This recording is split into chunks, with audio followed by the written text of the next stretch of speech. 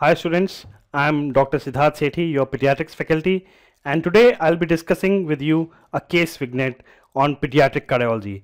And for your exams, especially a case vignette will be very important, especially when they ask you about a baby who comes to your hospital in the first week of life. Now this baby comes to your hospital in the first week of life with severe respiratory distress and shock. This baby was completely fine two days back. So as you can see, this baby was completely fine two days back and now this baby is in shock. Now what can be your differential diagnosis when a baby comes to you in shock in the first week of life? Infections? But there is no there is no case, case scenario of infections here. Now the second important thing would be that this child can have a ductal dependent lesion maybe you know his ductus arteriosus closed in the first week of life. So remember all of you ductus arteriosus physiologically closes within the first 10 to 15 hours of life physiologically. It vasoconstricts because of oxygen. And anatomically it closes at around 10 to 21 days of life. So any child who comes to your hospital within the first week of life you should think of that ductus arteriosus closed. Okay? So think about that maybe ductus arteriosus closed. So what can this child have? This child can have any of the disorder of the left side. This child is in shock. So ductus was providing the blood to the system X and within the first week of life he comes to you in shock. So remember it could be any of the problem on the left side okay? And here this child most probably has a ductus dependent lesion which is called a hypoplastic left heart syndrome. It could be a critical aortic stenosis a preductal coarctation okay? Which is also called interrupted aortic arch. So remember this child can have any severe left sided problem. Okay? Any severe. Now today we'll be discussing a hypoplastic left heart syndrome left heart is completely hypoplastic. So this child needs either an ASD, so either he needs an ASD and a PDA here to survive. So he needs either an ASD or a PDA to survive. Okay, ASD or a PDA to survive, which is very important for your exams. Okay, so we will give him prostaglandins. Okay, so coming back, so this child appears to have a hypoplastic left heart syndrome and we will give him prostaglandins. So those children who have an atrial septal defect and a PDA, so within the first week they do well. And as soon as the ductus closes, they come to our hospital in shock. Okay, so this is a ductal dependent lesion which was dependent on the ductus arteriosus for the systemic blood flow.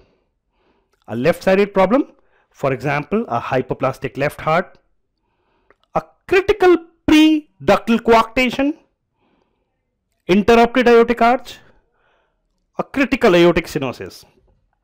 Now let me take you to what surgeries can we do for a patient who has hypoplastic left heart syndrome.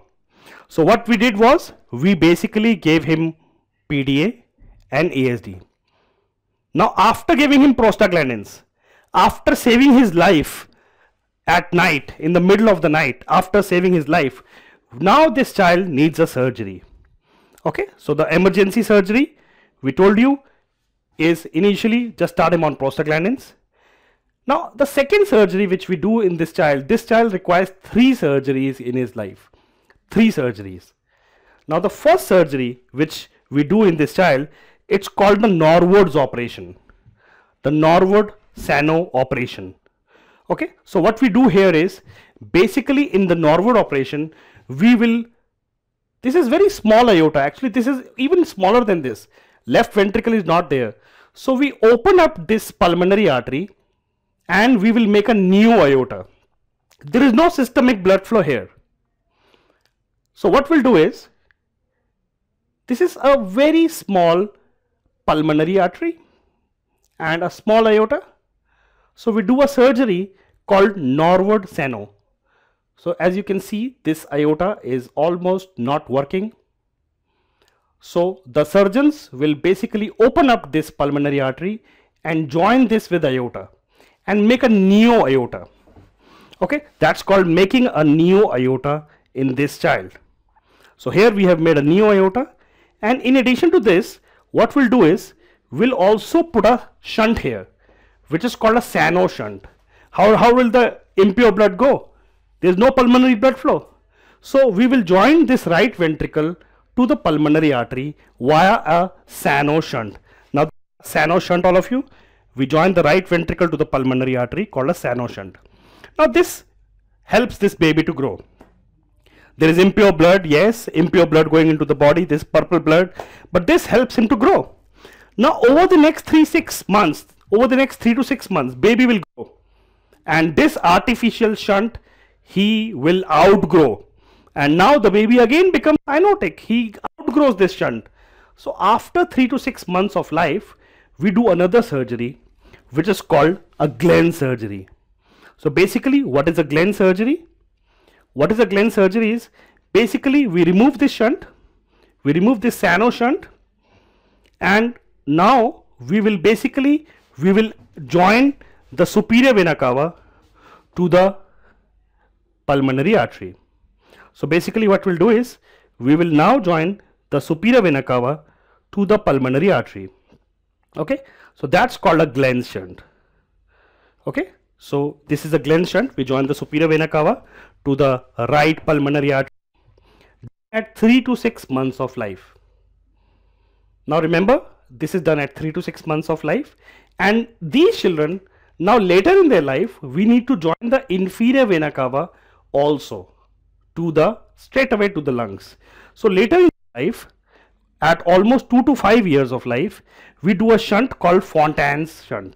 So what is Fontan's shunt? Basically, we join this inferior vena cava to the pulmonary artery. Okay, at 2 to 5 years of life, remember all of you. So I'll just again repeat it for you. Norwood surgery is done early after stabilization. Glenn's is superior vena cava to the right pulmonary artery at 3 to 6 months of life when he is outgrowing his shunt and later on we do a Fontan surgery.